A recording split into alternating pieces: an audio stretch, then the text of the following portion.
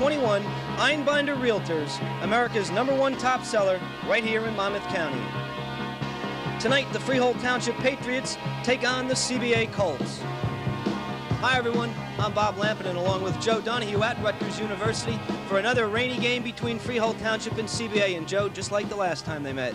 Well, very reminiscent of the first time these two teams met. The rain tended to nullify CBA's speed a little bit up front. Today we have a much bigger field, and we'll see if uh, which team takes better advantage of the size here. CBA with a record of 13 and 1 in the driver's seat in Class A North this Shore Conference. Yes, they are, but what is important to remember is that Freehold Township was the only team that was able to beat the Colts this year. Okay, so we're just about ready to begin the game. Actually, the game has started in the background. It's CBA taking on Freehold Township. We'll be back with all the action right after this word from our sponsor, Century 21 Einbinder Realtors. University for our high school soccer match of the week. Sponsored by Century 21 Einbinder Realtors. It's the Freehold Township Patriots taking on the CBA Colts. The match has started. There's no score in the first period. And Joe, as we mentioned briefly in the open, CBA really having a good season at 13 and 1. Freehold Township a hard luck season at 8 4 and 2. Both teams are quality teams, Bob. CBA, as evidenced by their record, the Freehold Township is the victim of a real tough schedule. They really are, and as we said earlier, they were, have been the only team to knock off the Colts so far this year in a 1-0 match that we broadcast earlier in the year. Freehold Township in their light blue shirts, CBA in the white shirts. Kevin Duffy plays it out wide. And this is Duffy. Inside, this could be dangerous. Nice play, though. Just knocked away that time by the defender, number 14, John Reel. And it was a tremendous opportunity. Jeremy Vaughn was knifing through, and he almost got through for an easy goal, Joe. He took the ball on his chest, but he didn't shield it away from the defender as he took it down. He shielded the ball toward the defense and allowed the defender to make the play. But this is the biggest field by far either one of these teams has played on this year. It's a, just short of 120 yards long and a good 70, 72 yards wide. And it really uh, remains to be seen which team will take advantage of the size of the field. CBA has that great speed up front, so the width, will, the length rather, will help them. And Freehold likes to work the ball through the midfield and use all 11 players involved in the attack, and therefore the width will help that team. So which team will take advantage of the field size best will win this game.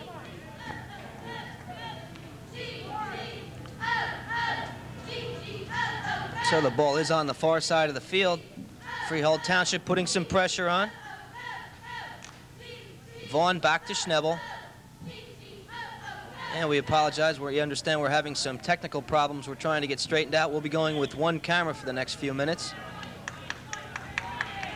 It's a throw in for the Patriots. Corey Schnebel chips to the far post. Dangerous ball, just running onto it. Jeremy Vaughn, he just couldn't quite get to it, but a great ball by Schnebel. Very good opportunity for the Patriots. Jeremy Vaughn on the receiving end once again gave it a great effort to get to that ball, but just couldn't get a foot to it. And a good ball by Schnebel. But one thing we have uh, neglected to mention, I think, is the rain is coming down. It has been fairly steady for the last hour or so here, so the field conditions will worsen as the game goes on if the rain should continue.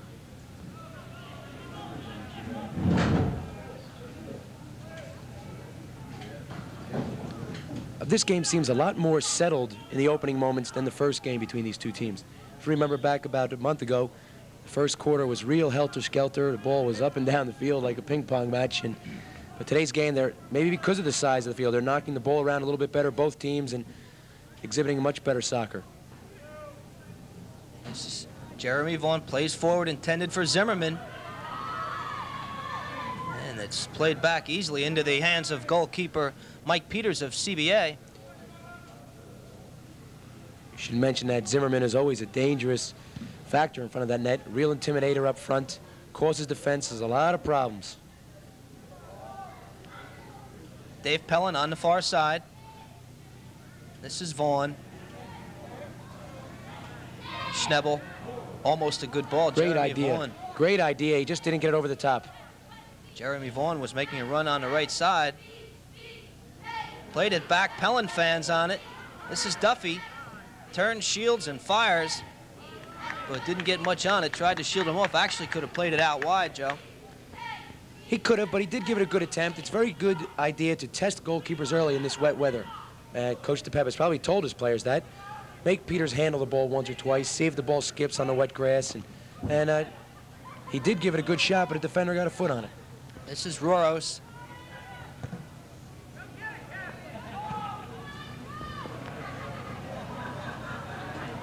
And that's number 23. Montani plays it back, intercepted by Duffy, but he can't control it.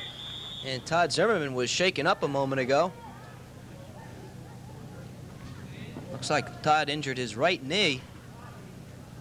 Todd, number 21 for Freehold Township. There you can see the score on our Century 21 Einbinder Realtor scoreboard. 0-0, 12 minutes and 48 seconds remaining first quarter. There's Todd limping off the field. And Todd appears to be shaken up. He'll have to tough that one out. And replacing Todd, it's number 20, uh, Mike, Mike Dermer. So Dermer replaces Zimmerman. 12 minutes and 37 seconds to go in the first quarter. We have no score between Freehold Township and CBA. We're at Rutgers University. Well, there's an example of the slipperiness on the field. Craig Schnebel lets it fly. Corey Schnebel cranks up, but it's blocked. That time a block by Bogdan. And CBA looks to counterattack. Roros taken down. No doubt about that one, Bobby. And we'll set the starters for you. First for Freehold Township. Guter in the nets, Booth, Smith, Meinster, Dermer, Pelland, Schnebel, Duffy, Corey Schnebel, Vaughn, and Zimmerman. The starting 11 for Freehold Township. As you look at number 12, John Rogers getting set to take this free kick. Uh, going back to the last game, CBA likes to play these balls to the head of Mullen. There he is. Just ne nearly got over the defense, but they were fairly dangerous on their restart opportunities in the first match. Always playing the ball primarily to the head of uh, Timmy Mullen, Jimmy Mullen rather, captain of CBA, wears number nine. It's a throw in for Freehold Township.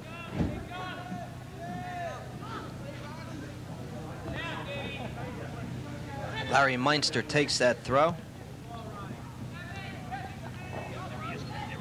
Duffy protects it. Nice ball outside. Dermer. Good pressure by Dermer. And CBA on the attack. Players starting to slip around a bit. This is Jim Mullen. Mullen looking for help. Corey Schnebel intercepts.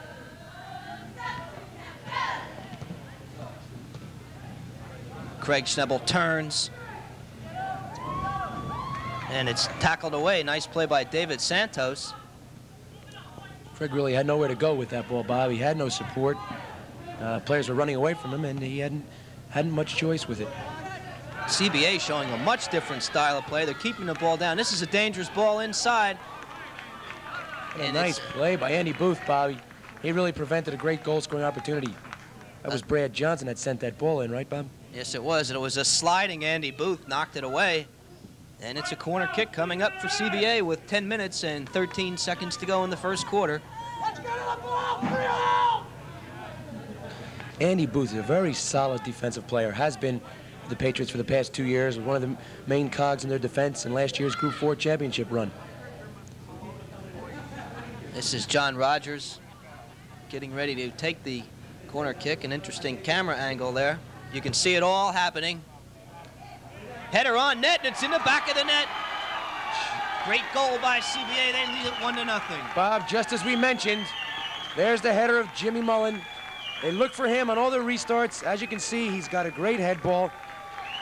Ball is flighted in from the corner kick right to the head of Mullen, unmarked and unchallenged. The Cardinal sin by the defense, and he had no problem. And notice how he nodded the ball down toward the goal line. He didn't try to head it up in the air and beat the keeper. The most effective way to beat the goalkeeper is head the ball right onto the goal line, which he did, and the result is a 1-0 lead for the Colts.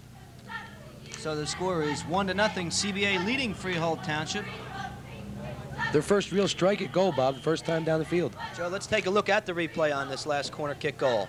Okay. Now you'll see the ball flighted in, and Mullen will be coming in on the far post. There he is, up for the header, headed it down to the line, unmarked, and it's a goal for CBA. So a textbook corner kick goal. CBA leads it one to nothing. Jim Mullen knocked it down into the corner past goalkeeper Tim Guter of Freehold Township.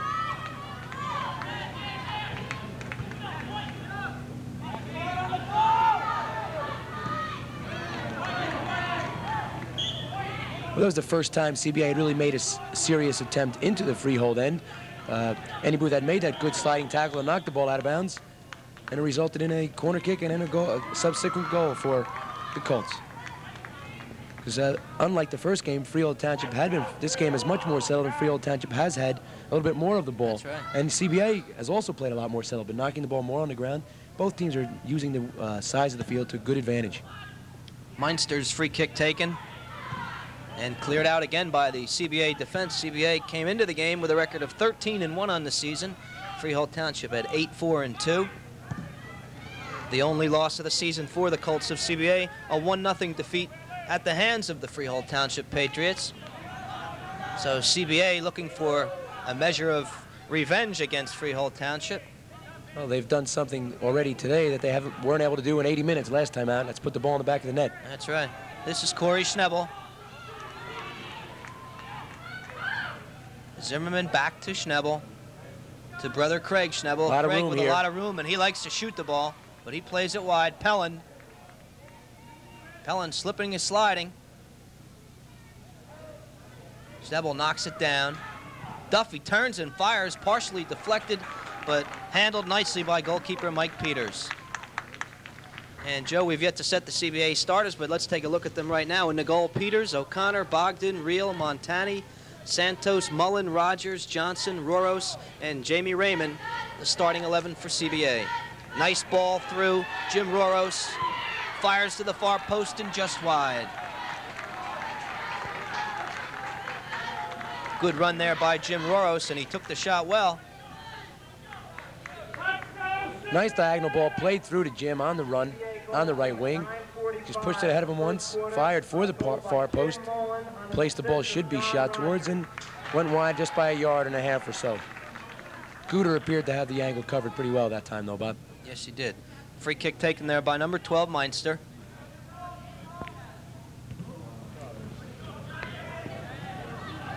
Johnson, Brad Malone, yes. Tried to cut it back. Andy Booth, not in a real good position that time. Tried to clear it off the side of his foot over the end line. It'll be a corner kick for CBA. 417 JDK. Your lights are on. Well, there was seen to be a lapse in the marking by Freehold Township defense that time. Brad Johnson was allowed to receive the ball unmarked in the penalty area and was able to turn and send the ball toward the middle of the area. Andy Booth did clear out of bounds. Here comes another corner kick from the opposite side now. And once again, look for the head of number nine, Jim Mullen. Okay, it'll be David Santos to take the kick. A.J. Garrido jogs onto the field for CBA. And here comes the corner in swinger near post. Off the bar. Oh, tough chance. It's still in, in bounds.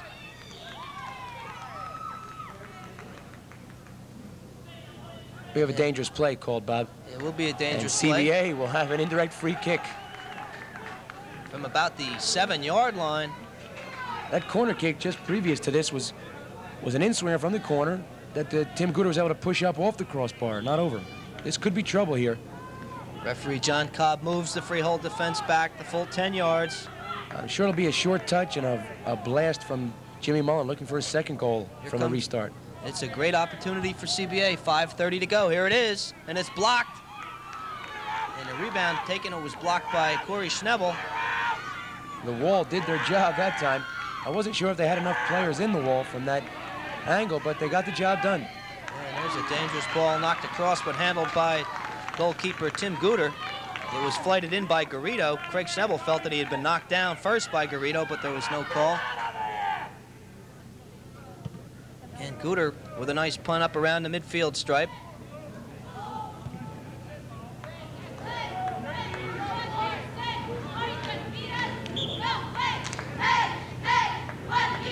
And Joe, let's take a look at that last sequence. Well, there'll be a short touch, Jimmy Mullen. He will volley the ball off the wall. It'll come right back to him. Here it is back to him. He volleys it again off the head of Corey Schnebel, who was a little shaken up. But a good job by the defensive wall of the Patriots, because that is a very dangerous scoring opportunity. Okay, we're back to action. And that's number 18 for CBA, Jim O'Connor, playing it back to his goalkeeper, Mike Peters. Four minutes and 25 seconds remaining in the first quarter. CBA leads it by a score of one to nothing. Jamie Raymond. Oh, another dangerous ball across. Jamie Raymond with some good work. It'll be another corner kick for CBA. So the Colts putting the pressure on. We'll have to take a short break. We'll be right back after this word from for CBA. Flighted across and headed out by a diving Corey Schnebel. CBA pounding away at the Freehold Township defense. There's an offsides. Yes, it was. Corey Schnebel did a great job with his defensive clearance on that header. The CBA is really coming on. As we said, their restarts are very dangerous, Bob.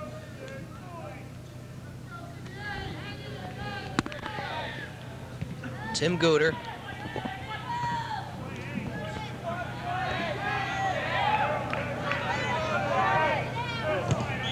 Meinster chases it down. A push called against number 10, Jim Roros of CBA. It'll be a free kick for the Patriots.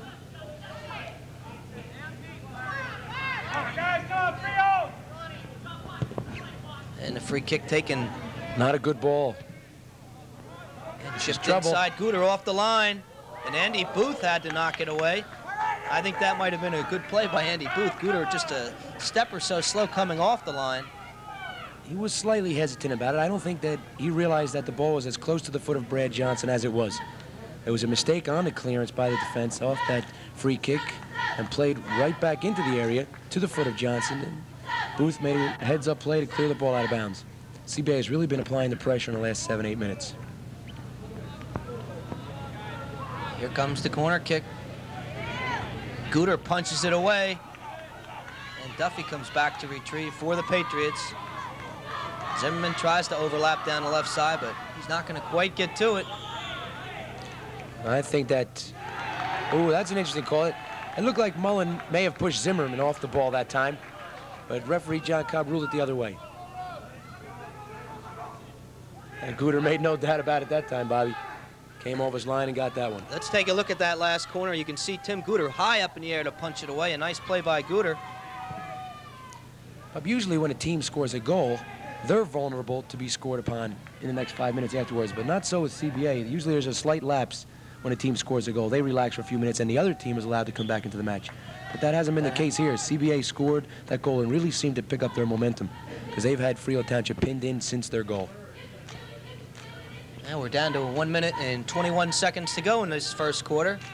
The score remains one to nothing. CBA leading Freehold Township.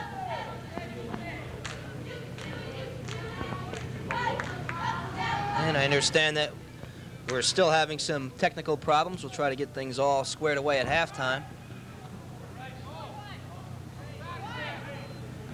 Nice move by Corey Schnebel. Nice cutback move, but he tried one too many. And he slide tackles it away. Well, this is the kind of day that slide tackling is in vogue, Bob. That's right. Corey. Schnebel putting on a one-man demonstration out there. Craig Schnebel chasing it down. And some good work there by both players, actually. But Corey Schnebel now intercepts. Oh, nice ball. A little bit too long and knocked away by number five, John Bogdan. It was a good idea that the Schnebel brothers trying to work a give and go combination. Nearly pulled it off, but Bogdan made a good defensive play. We have 10 seconds remaining. Roros plays it forward. Booth plays it back. I'm not sure if he saw number four, Jamie Raymond, trying to sneak inside. And there's the whistle ending the first quarter of play here at Rutgers University, where CBA leads Freehold Township by a score of one to nothing. Joe and I will be back with the second quarter right after this. To Rutgers University for our high school soccer match of the week on our Century 21 Einbinder Realtors scoreboard.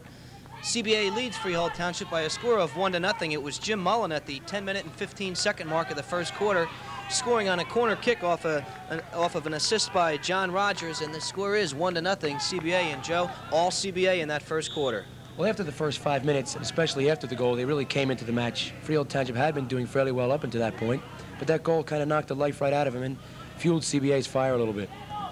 And let's see if Freehold Township can come back. They've- Bob, the, excuse me, the first time these two teams met, CBA really owned the first quarter in that game as well, but Freehold Township took the last three quarters of play to them and subsequently won the game 1-0. And interesting, Joe, in that CBA really seems to have changed their style a little bit from that last game. In that last game, they played everything long. And so far in this match, they've tried to settle it down in the midfield a little bit. Well, Bob, I think they're taking advantage of the size of the field. Uh, they're used to the small, narrow high school pitches where they're played inside a football stadium, at, such as at Freehold Township. And CBA itself has a very small field, about 56 yards wide. So CBA is making better use of the size here down at Rutgers, where we have a nice you know, 120 by 70, 72 yard wide pitch. And that foul will go against number nine, Jim Mullen. It'll be a free kick coming up for Freehold Township from about the 23-yard line. Freehold Township has been fairly successful with these. Uh, Corey Schnebel usually is involved uh, for headers on the far post, but Craig Schnebel usually is over the ball, but we don't see that today. We see Pelland and Zimmerman over the ball. Watch for a touch to number 10, Schnebel for a volley. And there, There it it is. They knocked it across. The CBA wall came inside, headed it away, up in the air. And Peters makes the save. Well set up by Freehold Township, but the ball that was played across to Craig Schnebel wasn't quite far enough. It didn't clear the far side of the wall, and they were able to block his shot without too much difficulty. Dave Pelland. Corey Schnebel slips, gets up, and manages to keep control. And CBA brings it up slowly. 17.55 remaining first half, 1 to nothing. CBA leading Freehold Township. And a sliding A.J. Garrido knocks that one into touch. Quick throw in for the Patriots. Similar to the way we opened the first period, Bob, with Freehold Township more or less in command. An obstruction has been called from 60 yards away. How many times have we seen that with the two-man system? I don't know whether we should get into that one again, Joe. Oh, we won't. Let's see if they attempt the same thing. They're set up similarly. Dave Pelland over the ball. Craig Schnebel about six yards off. I think uh, CBA is ready for it. Well, they play it through. Vaughn runs onto it, but can't quite turn on the ball. Knocks it over the end line. Goal kick coming up for CBA. So CBA, excuse me, Freehold Township tried to play the ball through onto the onrushing Jeremy Vaughn. Just a little bit too much pace on that ball, and Vaughn couldn't quite turn it back. Interesting idea. They set CB up well for it with their first uh, free kick, but Jamie Raymond wasn't fooled by that one too much and pressured Vaughn into playing the ball over the end line. With us in the booth, Bob, we have Bob Reasso, head coach at Rutgers University. Bob's been at Rutgers for three years now and has really built their soccer program up into the number six team in the nation where they currently sit this year. Bob's team is undefeated at, Bob, the record at exactly at this time is what? Right now we're 10-0 and 2, Joe. Uh, our two ties coming to uh, Rhode Island 1-1 and Princeton last last Friday night 0-0 down in Princeton. Two tough matches, It's a rough week for your boys. Yeah, it really was. We were real pleased though they came back. We were able to beat uh, Temple and get back in the winning column on Wednesday. And we beat them 1-0 down in Philadelphia. Uh, Temple was undefeated up until that point, were they not, Bob? They were 9-0 at that point. There's a chance right there. And a dangerous chance for Freehold Township. The ball was chipped over the wall. Todd Zimmerman sneaked in behind the defender and just couldn't quite get too much on that one. And into the hands of Mike Peters, That was to the left foot of Todd, Bobby, and he really couldn't put much of a foot on it at all. probably the best opportunity thus far in the match for Freehold Township. Uh, Bob, how are your boys re- reacting to that number seven rank? Is that a surprise to them? Uh, when the season began, you knew you had a lot of talent. You had a great uh, deal of recruiting uh, with New Jersey players. Is that a surprise to them or yourself? Tell us a little bit about that. I think being sixth in the nation surprised us a little bit. We thought we could be a top 20 caliber team, but uh, being sixth surprised us a bit. But we're trying not to really be concerned with it right now. and Just play every game one game at a time and, and see what develops as the season goes on. Well, the season goes on. Uh, there isn't a whole lot of it left. If you've got Penn State coming up uh, today, as a matter of fact, a very tough match for you. Uh, Penn State always a national power. How do you view that one? Well, Penn State's had a little rough luck this year. They haven't been scoring a lot of goals. I think they've taken about four losses, but they're still a very talented team. The biggest problem, as Walt Bahr has told us, is that they're very young in the back, and they are, you know, making mistakes in the back that freshmen will make. Don't we all know about that? That's for sure is right. Uh, how about a tournament bid? How does your team sit in terms of getting an NCAA bid? Uh, will the win today kind of lock it up for you, or what do you have to do between now and the end of the year? I think if we win today, we'll have the inside track on the tournament bid. Uh, we've beat, we'll have beaten most of the tough teams in the in our region. Excuse me, Bob. Here's a good scoring chance for Freehold Township. Kevin Duffy cuts it back. Nicely headed away by Jim O'Connor right on the post. He saw Peters go off his line. O'Connor covered up for him and came up with a fine defensive play. Freehold Township putting some good pressure on. Todd Zimmerman has gotten open inside twice. That time it was played outside to Duffy, but Zimmerman now trying to make his presence be felt inside that 18-yard area. Well, Freehold Township has really done well in the opening moments of this second period. Uh, but similar to the first period, eh? but CBA is always a dangerous threat on that counterattack. With that tremendous speed up front, you know, if uh, Freehold can't put the ball away into the net, look for CBA to send someone out of their end and cause them some problems coming the other way. And this one cleared away once again. It'll be a throw-in for Freehold Township. Once again, we apologize. We're experiencing some technical problems. At this point, we're going with one camera. And here comes a throw-in for Freehold Township. Ron Smith. Raymond clears it out, but Andy Booth into the attack.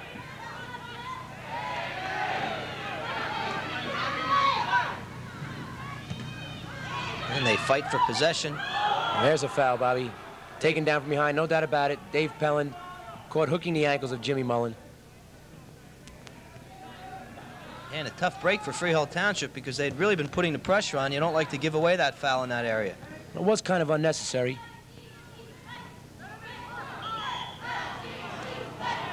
Oh, this is one tackle. of those, as we said, this is one of those days where slide tackling is in vogue. Guys are on the ground all day.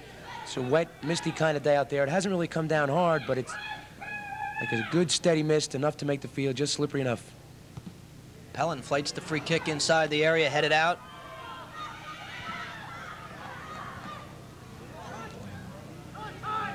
Ooh, a Todd mistake. Zimmerman right there. It was mm. flighted inside by Mike Scheinberg. Number two came up from his right back position, flighted it inside. Zimmerman, expecting the mistake by Peters, almost stole one there. He's that type of player, Bob. Always in and around the goal, a real nose for it. And he's one of those guys that gets those opportunistic goals. Goal Goalkeeper's mistake like that, he's right on top of it. Matter of fact, that's how Freehold Township was able to score their goal and beat the Colts the first time these two teams met.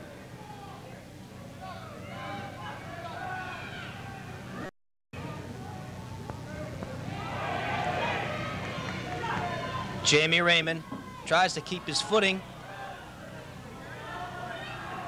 Mullen. Freehold Township A lot of room here if they use it well. Good ball by Corey Schnebel. all kinds of room for Craig Schnebel. Flights it inside Zimmerman, again inside of his defender, John Reel. And if they get the ball over the head of that outside defender, Zimmerman's right there.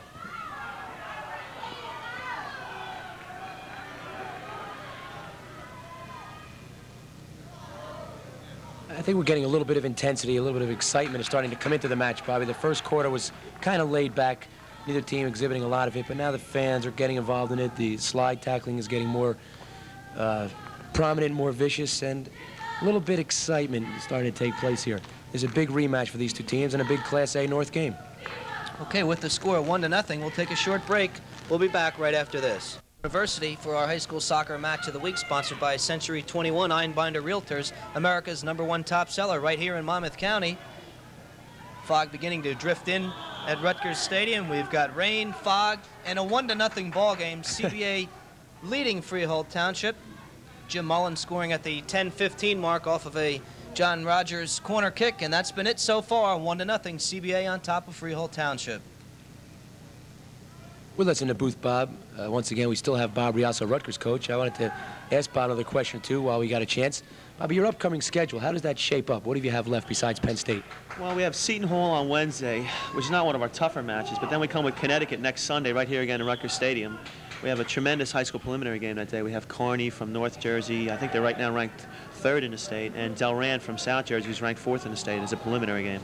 Uh, you put together quite a few preliminary games, such as this one here today this year. Uh, how's that package shaping up for your uh, program this year? Well, you know, Joe, as you do in your program too, we're trying to sell the best in high school and college soccer in the state of New Jersey. It's such a great state for soccer, and showcasing games like this is what it's all about. Exactly. I agree, Bobby, all the way. Yeah, and a tough break for you, Bob, and uh, by fact of the, the rain and all keeps the crowd down. I'm sure you would have had a much larger crowd had the weather been a little bit better. And after this match, you will be taking on Penn State. There's a great shot, and Gooder makes the save. That was Brad Johnson, the sophomore, Bob, who scored 40 some odd goals as a freshman on the JV level, and he's a real player. Watch out for that kid in a couple years.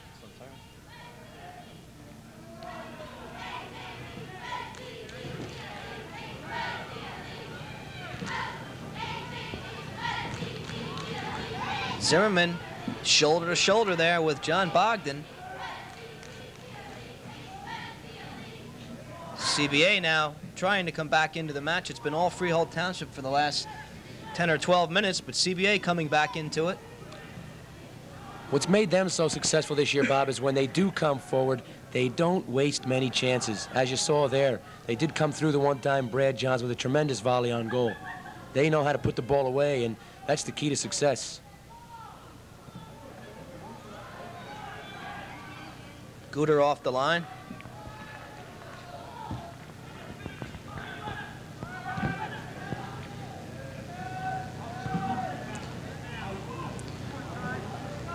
Bobby, how about naming for us a couple of your uh, New Jersey homebred players that you primarily have on your Rutgers team that have really contributed to your program this year, really helped you out?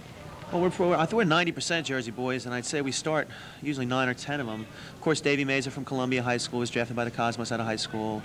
Bobby Joe Esposito, the all-time leading goal scorer in the state, who graduated last year, has come on and been our leading scorer as a freshman. He can score some goals, that's for sure. Yeah, he's an awesome kid. And he's a great person, too, and he works real hard, and here's a chance.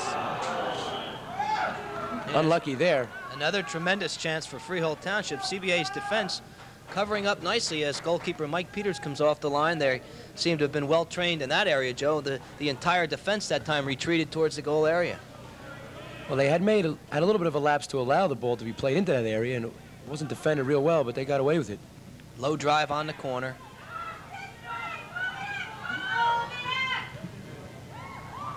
And that shot taken by Ron Smith. A day like today, it's good to take those efforts. Wet ground, as we said earlier, uh, you know, funny things happen in this kind of weather.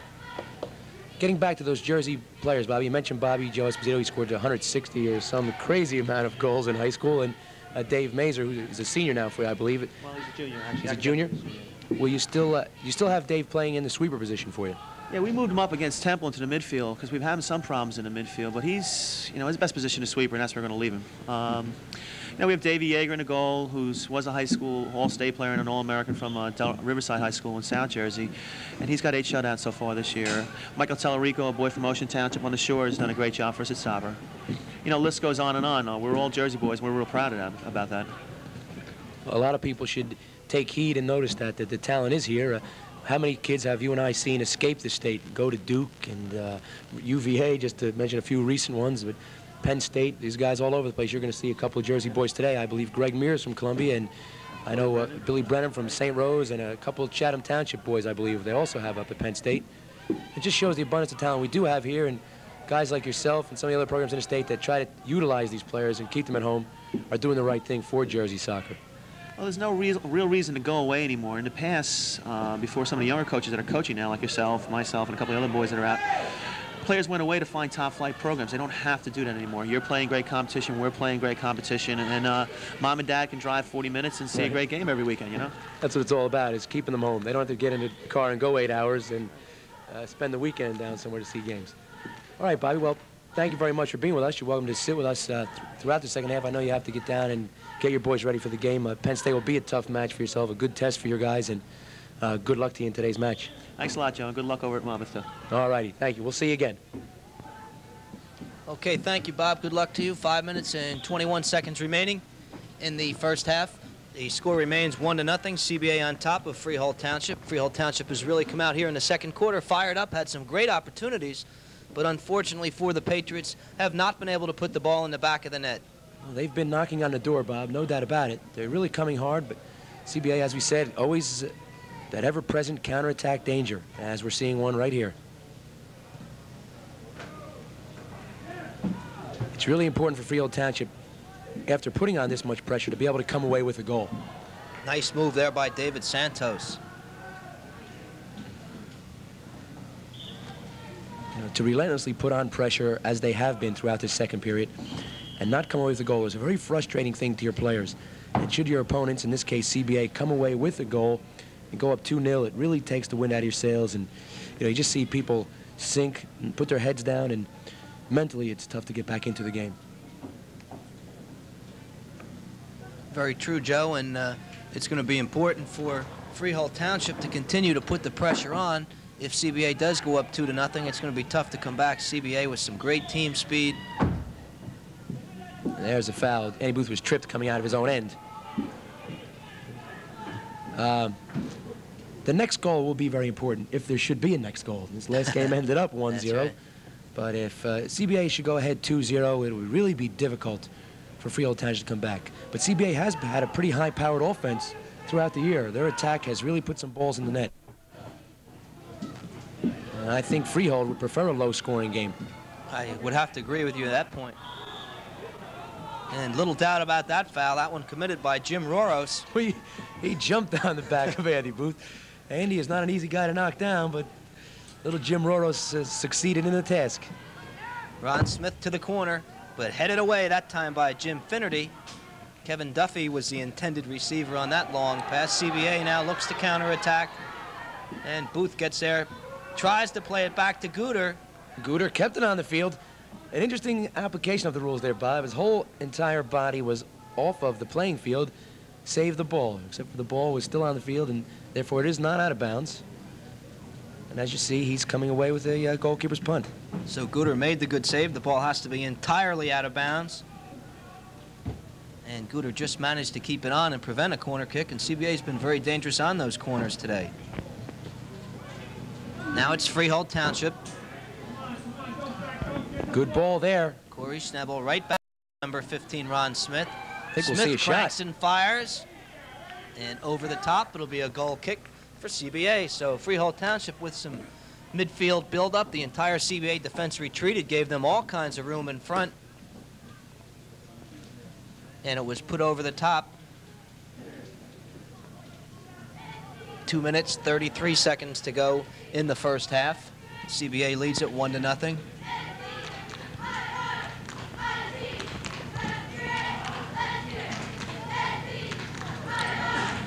Zimmerman, Todd able to, Zimmerman. Yes, he was able to shield the ball fairly well and was fouled from behind. I guess that's Finnerty. He gave him a little kick in the back of the legs.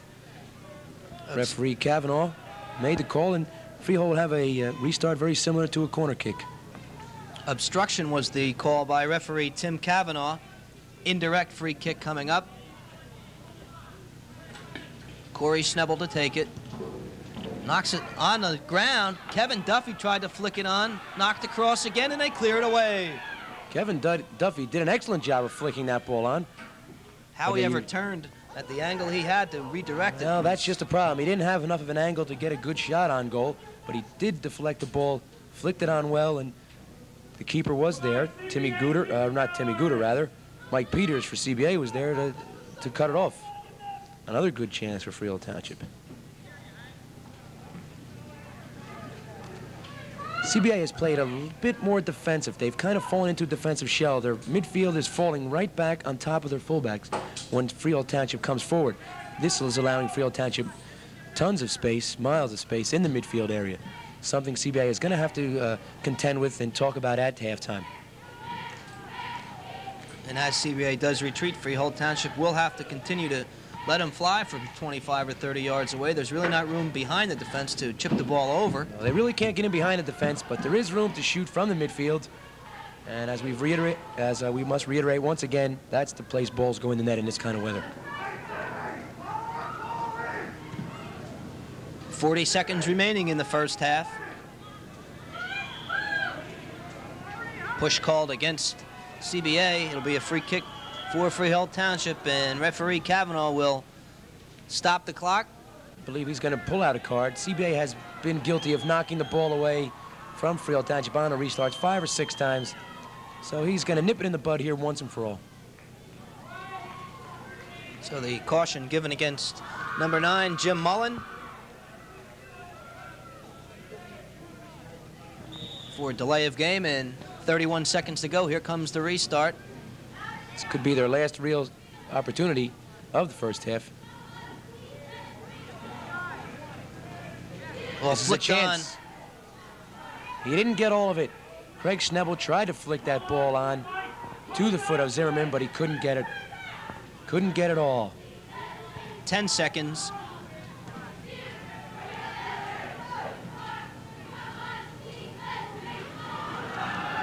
And they won't get the shot off. they were coming at CBA right until the final whistle of the first half. And there's the whistle ending the first half. CBA leads it one to nothing. We'll be back with the second half right after this. Einbinder Realtors, America's number one top seller, right here in Monmouth County. And there's the story. CBA leading Freehold Township by a score of one to nothing. It was a match in which Freehold Township put tremendous pressure on CBA in that second quarter, but could not equalize. There's our scoring summary. CBA scoring at the 10 minute and 15 second mark of the first quarter, that should read. It was Jim Mullen on an assist from John Rogers, and it's CBA 1, Freehold Township nothing. The second half has just gotten underway. And we understand that we've taken care of our technical difficulties, which we experienced in the first half. We apologize. Hopefully, the second half will be a little bit more entertaining for you. And, Joe, let's hope that all the problems that the rain has caused have been corrected. Hopefully we'll be able to handle it, but the players are more concerned with the problems the rain has caused them. I don't think they're too worried about the cameras right now. Okay. Uh, CBA will have to make a couple adjustments. As we said, uh, near towards the end of that second period, mainly throughout it, their midfield was falling right back into the defense, right on top of their defensive back line, which was allowing Freehold a lot of room in the middle third or through the midfield. And the, uh, the Schnebel brothers were, were coming through midfield and causing CBA fits. And they've got to correct that problem if they want to come out of this game with another W. It'll be a throw in for Freehold Township. And I'm sure Coach Bill DePep has also alerted his players to the danger of CBA's speed and the counterattack that they can look for. CBA had been pressed into their end, but very dangerous when they have come forward. And you see that happen so often in soccer. One team will put continual pressure on for eight or ten minutes, and your defense pulls up into the attack, and all of a sudden you're open to that quick counter, and you, the other team gets one shot in the quarter, and they put it in the back of the net. And that's a real heartbreaker. As we said earlier, should there be another goal in this game, it will be a big one. That may be the understatement of the year, but it's also true.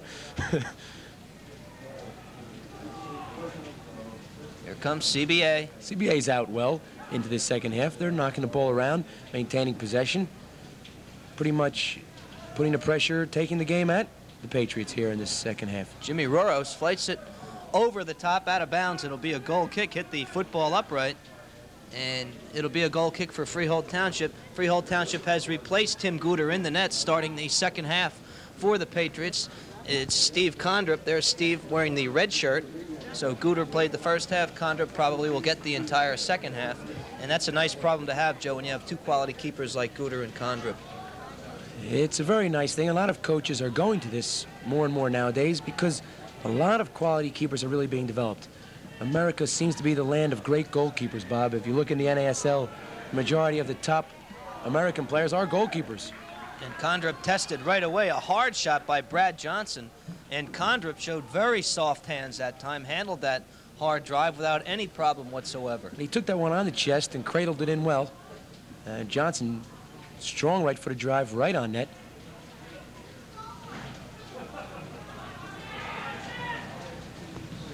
Corey Schnebel. Plenty of room. Switches the field nicely. Dave Pelland looking for some help. Was hoping to have Dave, or excuse me, Scheinberg overlap him.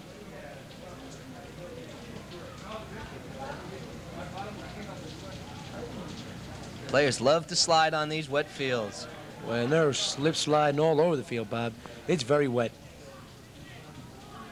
Plus, yesterday there was a football game here. I understand from Coach Bob Reasso that also uh, Thursday and Friday this week they had about 25 high school bands in here for some type of a band jamboree, and they've been trampling up and down the field for two days and hasn't done a whole lot for the conditions. Okay, trip is the call. Referee John Cobb made the call, and it'll be a free kick for Freehold Township.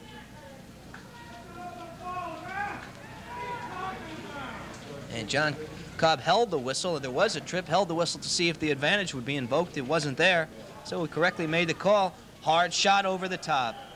Zimmerman took it. And Joe, you making or you mentioned, excuse me, all the different high school activities up at Rutgers, and Rutgers University certainly making a tremendous commitment in this last year or two to developing the high school programs and trying to keep some of New Jersey's athletes in the state of New Jersey. And there's one of them, Todd Zimmerman, plays soccer and basketball for Freehold Township. And how do you view this this new push by Rutgers to go after the New Jersey athlete, Joe? You're uh, I view in it a as way, competition. That's how right. I view it, Bob. Uh, Bob Reasso does a real fine job with recruiting. He's been at Rutgers three years, and I've been at uh, Monmouth just two, so he has had a little bit of a head start on me. And Rutgers, being the state university, has a much larger name than Monmouth College, but I think we've done a very good job of keeping local players at home, more or less, or bringing them to Monmouth College. And uh, Bob is competition. We had a very tough match with Rutgers early in the year. They beat us 1-0, uh, which is a great result as far as we're concerned, uh, being Rutgers is number six in the nation. And we're playing all freshmen, so just a little bit of propaganda for the Monmouth College soccer program for a minute here, but we're doing a great job, and uh, just be able to compete with a team like Rutgers in our first year as a Division One team. And certainly is quite an accomplishment. This is CBA on the attack. Oh, he was taken down. He didn't get a chance to shoot that ball. Yes, a foul was called and a good call.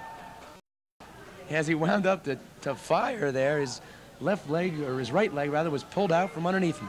And Joe, speaking of Monmouth College, on Thursday night at 8:30 p.m., we'll have the Monmouth County semifinals. Friday night, it'll be Notre Dame taking on Monmouth. And on Sunday night at 7 p.m., the Monmouth County finals from Wall High School. So a lot of soccer coming up on TV 34. Thursday, it's the Monmouth County semifinals. And then we'll have Monmouth and Notre Dame in the finals of the Monmouth County tournament. And soccer certainly uh, plays a big role in our sports coverage. There's a direct kick, or an indirect kick, excuse me. It was hit hard, but wide of the net. Goal kick coming up for Freehold Township. That was a direct foul. That was a trip, but they elected to push the ball to the side and fire on goal. Not really well taken. It kind of was off the side of the foot and went wide of the net. Bob, although that, just like to say a word about that Monmouth Notre Dame game. Uh, although we're broadcasting it on Friday night, that game will be shown, or be played live rather, at Shore Regional High School Tuesday night, October 25th at 7:30. We're expecting a very large turnout. It's Monmouth Ocean Soccer Association night. All you young players out there who are Monmouth Ocean Soccer Association members can uh, get in free to the game by just wearing your game shirt or uh, bringing a player pass and bringing mom or dad. Being accompanied by an adult, you get into the game for free, and you'll get a Monmouth College soccer bumper sticker. All And it should be a good college soccer match, and uh, there isn't much college soccer in our area at night. There really. It's virtually the only game all year at the Shore area, and we'd like to have as many of you Shore people out there to witness the game as we could possibly get. Okay, we wish you well in that one, taking on Notre Dame.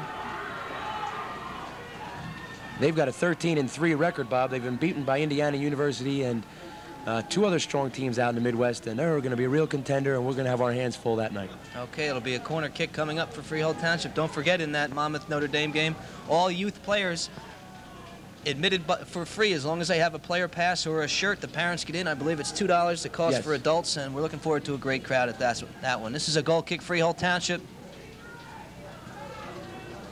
Let's make that a corner kick, not a goal Yes, kick. it was, but Craig Schnebel really took one heck of a diving attempt at that one.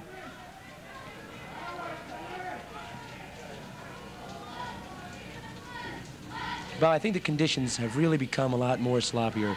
This second half is. There you, there's a great example of it. As just as I'm saying it, two guys fall flat on the rear ends. But the, the game has deteriorated due to the conditions of play. Miss kick there, you know, the ball, wet ball going off people's feet. Guys having trouble with footing. It's really tough to score goals in games like this. So often one goal wins matches.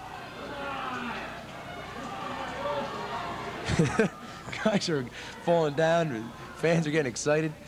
It's getting sloppier out there by the minute. And we're only in the third period. And we do have 12 minutes remaining in the third quarter. The score remains 1 to nothing. CBA leading Freehold Township. We had a goal scored in the first quarter at the 10 minute and 15 second mark by Jim Mullen, and that's been it. CBA on top, 1 nothing. Another problem with these high school games, Bob, in this wet weather is most schools use a certain type of ball that has a sort of a plastic or like a rubber type finish. And when it gets wet, uh, that ball really skips, really takes off in that wet weather. It doesn't get heavier as a leather ball would, but boy, it, it just takes off. It seems to gain speed in the wetness. Offside the call. Jeremy Vaughn couldn't quite get back on side on that right side of the field. And the rain continues to pour down the field, very sloppy at this point. And one of our cameramen is out in the rain, and that's no great job either to be standing out in this downpour. But Joe, do you change your tactics at all? I know that we we talk about building up in the midfield, and you like to see the ball on the ground and so on and so forth. But in weather like this, you almost have to go to the long ball. Well, I don't know. Should I disagree, Bob, or what? I don't know. Be my guest. Uh, it may cause the defense more problems trying to clear long balls and this and that, but it's also very difficult to put passes together of a longer nature unless you can put them right on people's feet because the ball's skipping away from your uh, intended receiver at the far end of your pass as well as it is from the defender. But there is a lot of problems defending in this weather. Hell, it's going to be tough for anyone to score a goal through the remainder of this match because it's really becoming a quagmire out there. Okay, pretty big word. Of course, you're a college guy now, quagmire. you people in the college ranks should know the meaning of all these large vocabulary terms. But when I mention a long ball, basically I mean flight the ball inside the 18 and take your chances. You're, more, you're talking more or less English style is what you mean. Flighting balls into the box, hoping for a defensive error, a goalkeeper get caught trying to come off his line. What is commonly referred to as the English style of play. Okay, I thought you meant strictly kick and run, just knock balls 60 yards ahead. No. Since it's not, I won't disagree with you. Okay. fighting balls into the box is a good strategy in this match. I certainly wouldn't like to see the game deteriorate into a kickball match, that's for sure. But both teams are having enough problems getting the ball toward each other's box. Uh, the ball has been pretty much in midfield throughout this third period. It looks like someone's going to approach another team's goal. John Reel looking for room to cut it back, but defended nicely. It'll be a throw in for CBA. Tackled away that time by number 20, Mike Dermer of Freehold Township. Eight minutes and 55 seconds remaining in the third quarter. Not too much happening in this third quarter at Rutgers Stadium. Substitution coming into the match. Number 13 for CBA, Jim Finnerty. We'll take a short break. We'll be back right after this.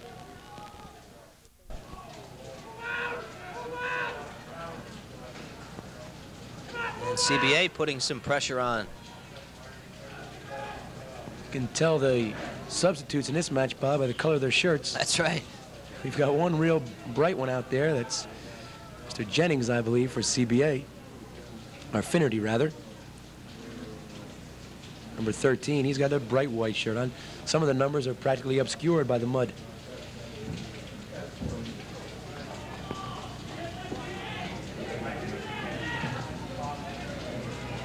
David Santos and Schnebel shoulder to shoulder. They get tied up. Which way do you point that one? And that one will be a hold called against Schnebel. Santos knocked down. And just a little bit of frustration. They got wrapped up in each other's arms and legs, and Schnebel, a little bit stronger than Santos, knocked him down. Santos went flying. I think that one looked a little bit worse than it actually was. But CBA will get the soccer ball. There's the free kick.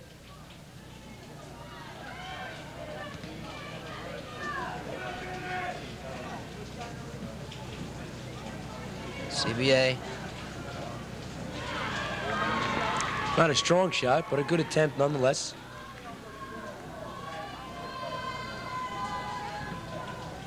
Condrup with the punt. CBA putting a little more pressure on in this quarter than Freehold Township. There's a nice ball to Craig Schnebel. And Corey Schnebel keeps the ball on, tries to turn, shields it well.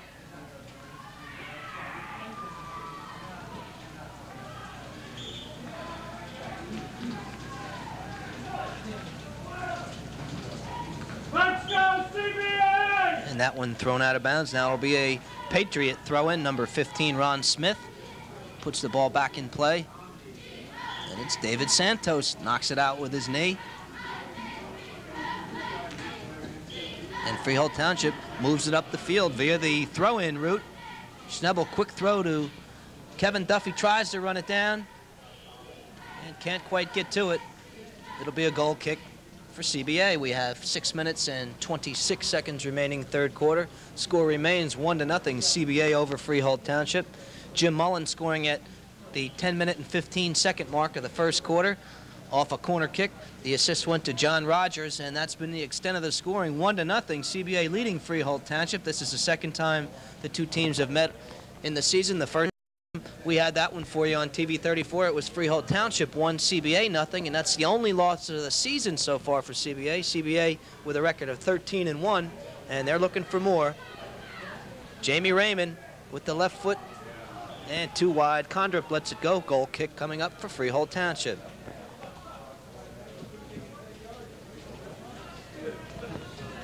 Both teams having trouble stringing anything together, Bob. The ball and the, they're both at the mercy of the ball in the field, the wet conditions.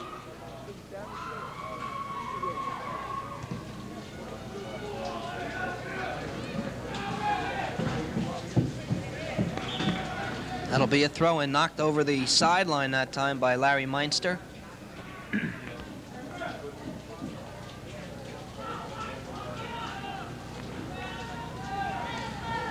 I have both teams even on shots on goal, seven apiece. So it's been a fairly even match outside of the one goal that CBA came away with in that first period.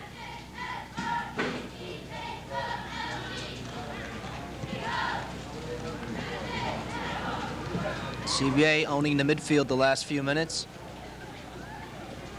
Craig Schnebel plays it wide. Pelland tries to run it down.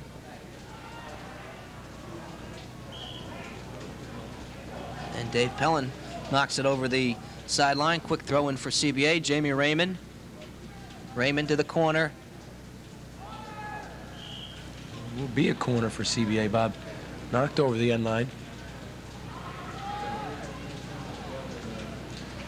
Four minutes and 20 seconds remain in the third quarter. Still waiting to get the ball back into the corner. CBA, Joe, has been very dangerous, especially in that first quarter on these corner kicks. They've got a real good header, as we said before, and Jimmy Mullen, number nine, and right now he's unmarked on this corner kick, and this is how they got their first goal. Mullen up again. Mullen and uh, Roros were up for that header and did direct it on goal. Couldn't get the kind of velocity on it that they needed. Steve Condrup was right there to gather in that header. Condrup replaced Tim Gooder in the third quarter. Gooder He's- played a nice first half. Condrup so far enjoying a quality second half. He's been up to the task, made every play. Good ball by Schnebel to Duffy. And outside, to Jeremy Vaughn. Vaughn has two defenders on him. Pelland tries to provide some support, but CBA comes away with it.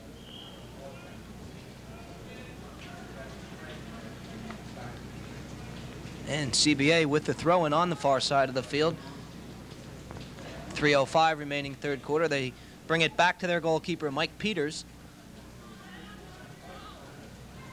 And Mike Peters, so far today, Joe, hasn't really been called on to make too many tough saves. His defense has really done the job for him. He's been credited with three saves so far, Bob, but none of them have been real testers. This is Jimmy Roros on the run, left-footed drive, blocked by Booth. Roros again tries to get by two defenders, Tackled away Santos with the left-footed drive well over the top goal kick Freehold Township.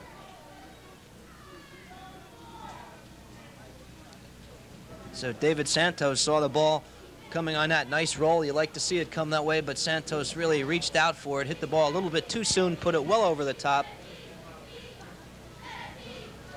And it'll be number 12, Larry Meinster, to take the goal kick.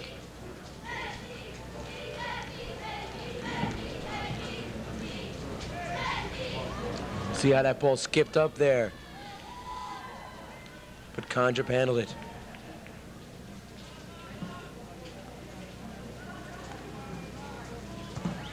Schnebel plays to the corner. Corey Schnebel.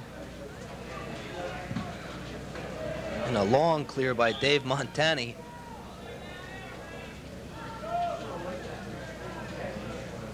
One minute, 35 seconds remaining third quarter, and they stop the clock.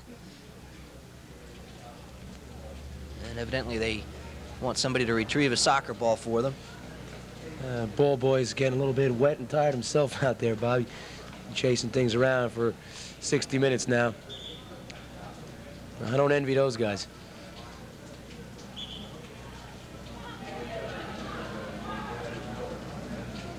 Craig Schnebel, nice ball. Andy Booth into the attack. That's not where Andy wanted it to go, but it got It there. It wasn't a bad idea. I think he was trying to fire one on goal from 40 or so some odd yards out. Went off his foot and almost right onto the uh, oncoming right winger. Okay, there's the whistle ending the third quarter of play. CBA still leading Freehold Township by a score of one to nothing. And we'll be back with the final quarter of action right after this. 34 High School Soccer Match of the Week. Today's match being sponsored by Century 21 Einbinder Realtors, America's number one top seller right here in Monmouth County. CBA leading Freehold Township by a score of 1 to nothing. The first goal of the game and the only goal of the game being scored at the 10 minute and 15 second mark of the first quarter. It was Jim Mullen on a corner kick assisted by John Rogers got up in the air and Mullen nodded it past goalkeeper Tim Gooder and it's CBA 1 Freehold Township nothing 20 minutes of soccer to go on a cold wet rainy day here at Rutgers University. And if you're watching this match on Sunday evening, you're watching same day coverage. So if you looked out your window at all today, if it's Sunday, you know what type of day it has been. It's been a miserable day for soccer, but both teams working hard, putting on a nice performance considering the elements. And Freehold Township would like to work a little bit harder in this quarter and at least equalize and go to overtime. There's a foul, a bad foul that time. Uh, I don't think we're going to see a card. I don't believe it was an intentional foul. It just looked a lot nastier than it was. And you can see the number on the back of Dave Santos' shirt is practically invisible. He's spent a lot of time rolling around in the mud this afternoon. So it'll be a free kick for CBA. O'Connor puts it back into play. Flicked on nicely. Booth Weiser lets it run past into the hands of Tim Gooder, who has replaced Steve Condrup in the net. So Steve Condrup gets a quarter of action today. Performed well. Certainly did.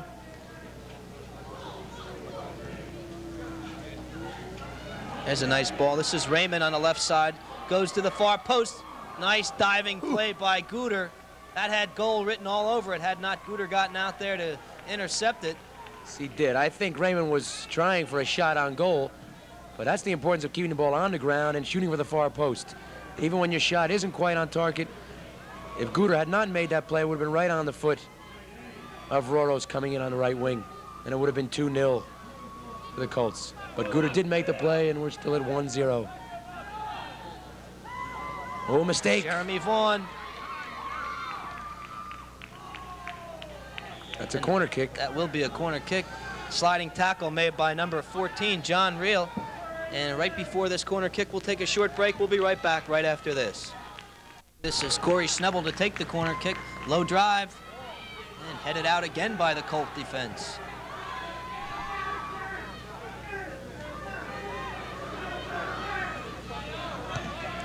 He's on sides, and he's and he's there. And the ball skipped by. Zimmerman couldn't quite get to it.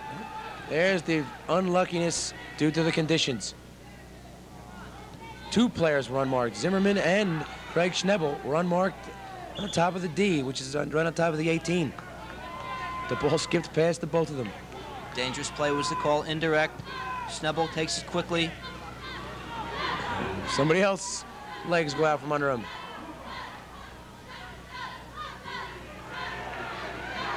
AJ Garrido. There you can see the ball skip right into the hands of Tim Gooder. He releases quickly out to number 15, Ron Smith.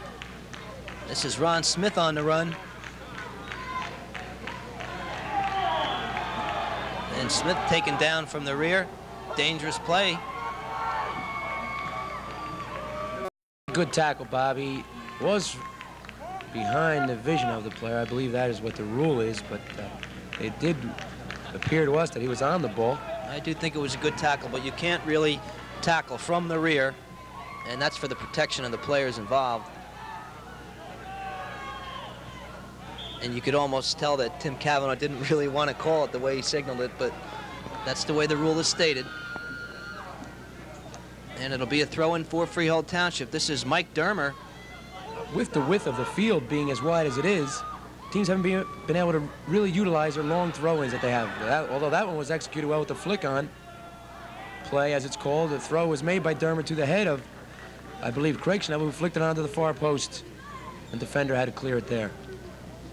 And they're playing on that 72 yard or so wide field, which is something neither team is used to. And that, that long throwing are so accustomed to in their high school uh, stadiums is not available to them here today.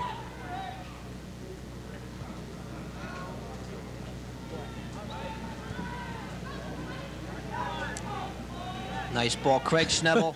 Somebody just took a dive on the Jeremy ground. Vaughn off the line. Mike Peters off the line. Great ball. Knocked through Craig Schnebel to Jeremy Vaughn, and off the line was Mike Peters, and just took it off of the foot of Jeremy Vaughn. Nice play there by the goalkeeper. That was a big play by Peters because Vaughn was through and it really could have amounted to something for Freehold. Guys are diving all around, Bobby. They love this. It's the kind of day that players love and mothers hate. they bring those uniforms home. That's right. Once they get wet, players like this kind of stuff. The only place this kind of game isn't fun is the guys on the bench. That's right. It is no fun being there today.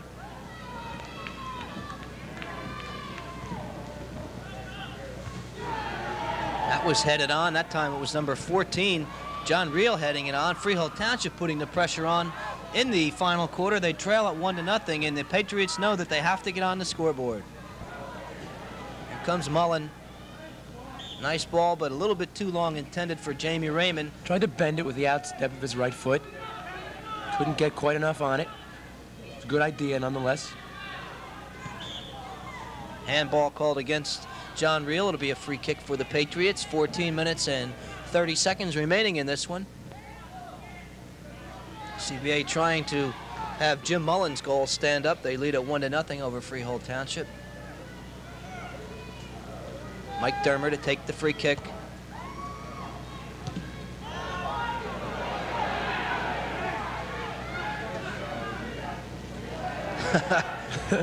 Never did go off the field. Now it is. Brad Johnson, quick throw in. Jamie Raymond Nice cutback move. back, plays it back on the ground. Nice ball.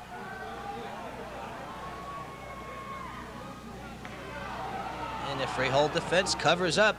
They got it onto the foot of Jimmy Roros. He tried to turn, but really couldn't get around, just shielded it. Actually, I think he was looking for some help to play it back for the shot. He was looking for someone, think, someone to knock it to. He didn't realize that his defender had fallen down on the ground behind him. He could have turned and fired a clear shot at goal, but he turned the wrong way and was unable to see where the defender had gone. He was looking for Brad Johnson to lay a ball back to. Pelland with the throw, and this is Dave Pelland again. Dave Pelland couldn't cut it back. Goal kick CBA. See Dave jogging back into position. And not an easy thing to do today, Joe, under these conditions, to take the ball down and then cut it back. It's awful tough to plant that left foot and swing your leg around. It's a rugged day to do anything.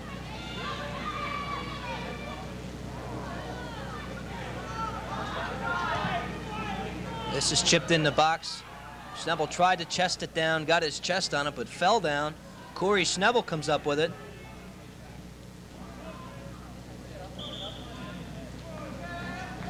And a whistle on the play, referee Cobb.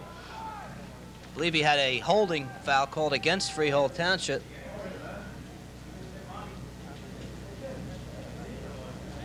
Closing in on the 12 minute mark.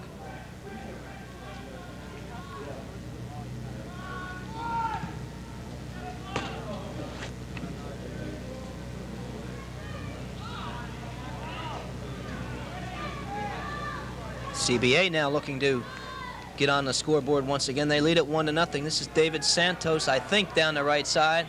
and Tim Kavanaugh.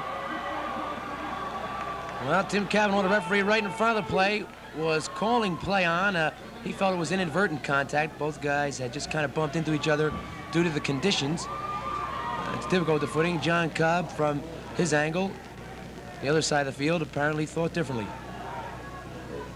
Oh, that was a mistake by Freehold on clearance. And Andy Booth clears it out. throwing for CBA.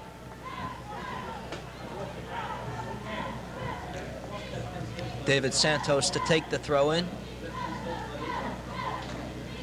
Freehold Township has put the pressure on CBA here in the third quarter, but have not been able to equalize. Santos. Time's running out on them, Bob. 11 minutes remain in the match.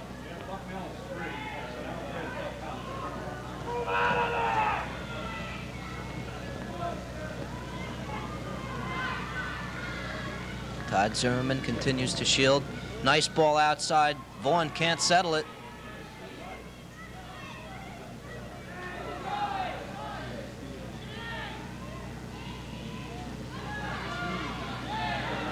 That'll be a corner kick. Craig Schnebel. A swan dive there, Bob.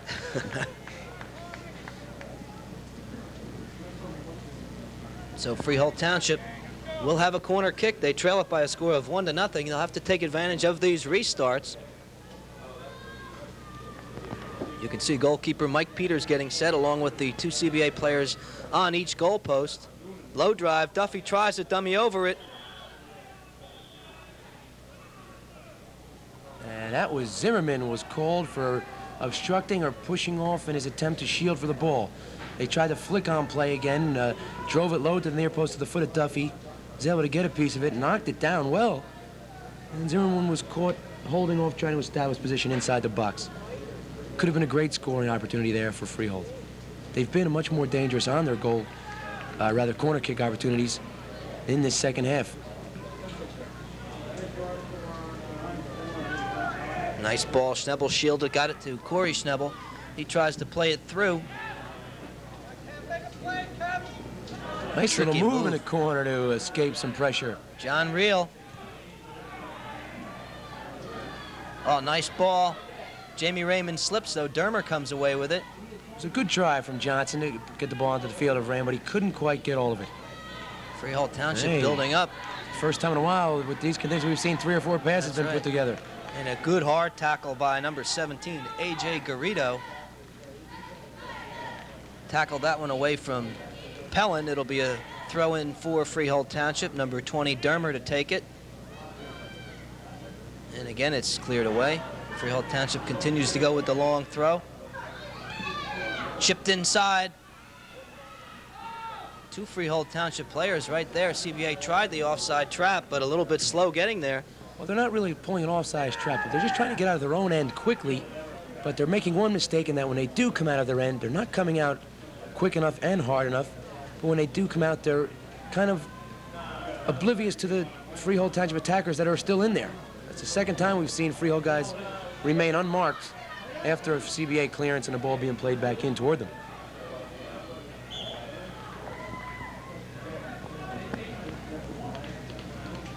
It's a throw in for the Colts.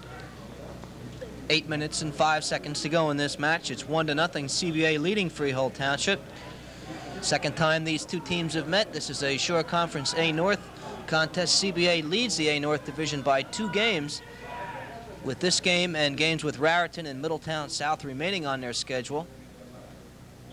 So CBA in pretty good command of the A North conference at this point. They need victory. If they win this one, they'll have it pretty much sewn up.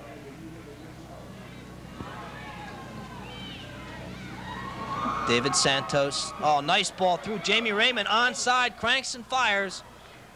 But right at goalkeeper Gooder. Beautiful ball from Santos to Raymond. He did get behind the defense on the right side. Let one fly, but didn't get all of it. It was right to the hands of Gooder. CBA looking to come away with a counterattack goal so they can rest easily for the last seven minutes of play here. And Freehold Township just as anxiously trying to get the equalizer. this kind of game, Bob, is very difficult on your legs in terms of fitness level. That you know, it's very hard to play in this muck and mire for 80 minutes and not get leg weary. Kicking the ball's heavier, your socks are wet, your shoes are soaking wet, and you've got to be in great physical condition to still have anything left at the end of the match like this. You can see some of the players are kind of dragging themselves around the field now, and uh, you know, that may be the difference in the last five minutes. Who's got a little bit more left physically?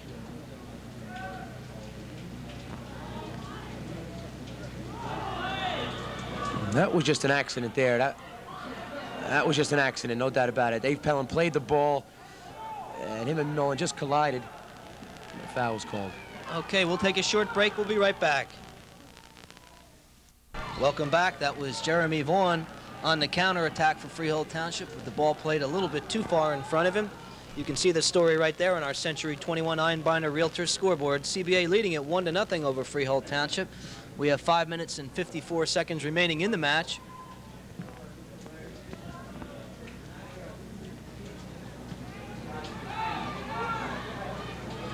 This one played outside, Jeremy Vaughn. Looking for someone to go to. But Bogdan knocks it away. Andy Booth looks to be dragging that right leg along behind him. You see that, Bob? Yes, he does. I noticed that earlier in the match. Uh, I remember earlier in the year, he had his leg all wrapped up, uh, like as if he had a hamstring or a quad injury. Uh, he isn't wearing the wrap on his leg today, but he's really dragging that leg behind him. And you're looking at Jamie Raymond of CBA. That was number four, along with number 20, Mike Dermer.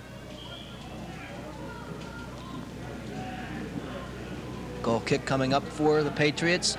Five minutes to go in the match. Nice diagonal run. Schnebel keeps it on. Room in the middle. Oh, and look at that. Did the splits going with that one. He had some room there. Good ball played in by Craig Schnebel. Ronnie Smith couldn't come up with it as he did a little ballerina move there in the midfield. Garrido upfield. Corey Schnebel tried to step over it. Read nicely by Santos. Freehold Township trying to string things together. Tremendous pace in the midfield. Zimmerman plays it long to the corner.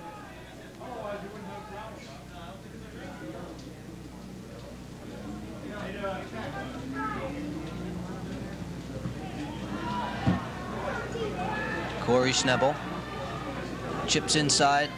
Kevin Duffy up. Couldn't get a head on it. It was headed away by O'Connor. Santos, tricky move. Field Township players are giving it everything they've got. They're sliding at every 50-50 ball.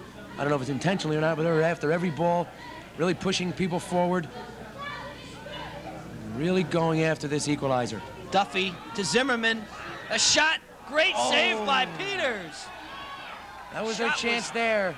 Shot was taken by Vaughn, and Mike Peters went to his knees and made a great save. Yes, he did. He went low to his right, got the right hand down and stopped that drive from Vaughn.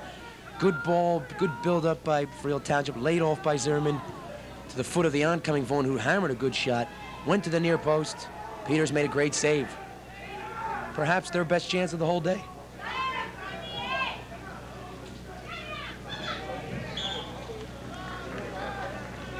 Three minutes remaining in the match. That's a tough break for Freehold Township. CBA looking to hold on, Freehold Township looking to equalize.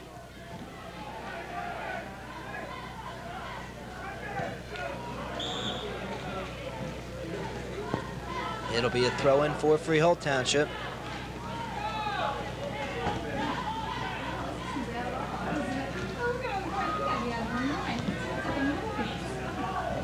Two minutes and 30 seconds remaining. One nothing. CBA still leads it. They scored in the first quarter, and that's been it. Freehold Township has frantically been trying to equalize, but unfortunately for the Patriots, they can't get the ball in the back of the net. Goalkeeper Mike Peters just came up big on the save for CBA to preserve the 1-0 lead. Closing in on the two-minute mark, two minutes and seven seconds to go.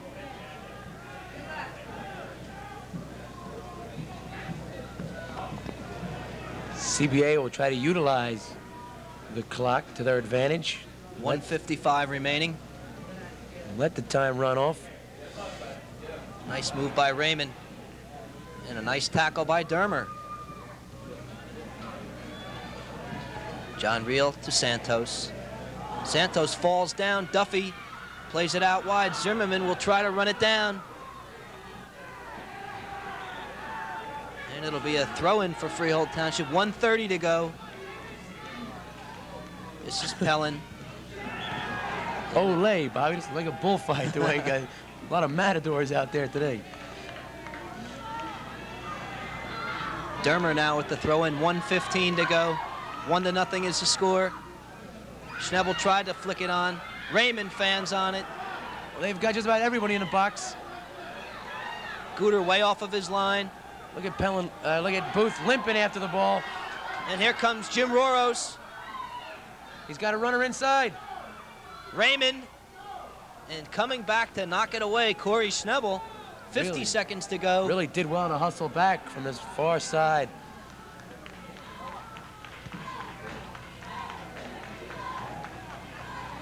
Well, what a finish, Bob. 35 seconds to go. That clock is official.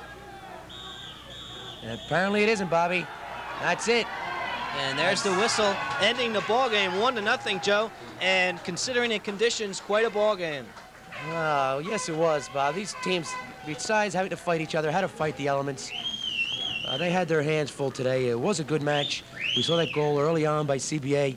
Both teams really went at each other very hard, but it's really t difficult to put anything together offensively in terms of uh, three or four passes. The ball just wasn't cooperating today, skipping away from players. Uh, a good day for defenders in terms of uh, getting down and making slide tackles, really putting pressure on you, man. Tough to put together offensively. Okay, so Jim Mullen scored at the 10 minute and 15 second mark of the first quarter on an assist from Jim or John Rogers for CBA, and that's the extent of the scoring. One to nothing is the score. A lot of soccer action coming up on TV 34 on Thursday night at 8:30 p.m. We'll have the Monmouth County semifinals for you.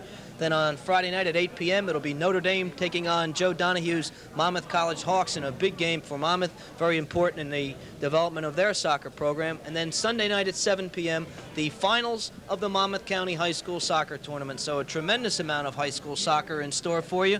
Hope that you stay with us and catch those games. This has been a great match. CBA wins it by a score of one to nothing over Freehold Township. As we mentioned, this match has been sponsored by Century 21 Einbinder Realtors, America's number one top seller right here in Monmouth County. We hope you've enjoyed this one from Rutgers Stadium. The final score, one to nothing. CBA defeating Freehold Township. CBA in great control now of the Shore Conference A North Division. They hold a two-game lead with only two games to go in that competition. So CBA enjoying a great season. They go to 14 and 1 on the season. Freehold Township falls to 8 5 and 2. We hope you've enjoyed this one for Joe Donahue. I'm Bob Lampin and saying so long and thanks for watching.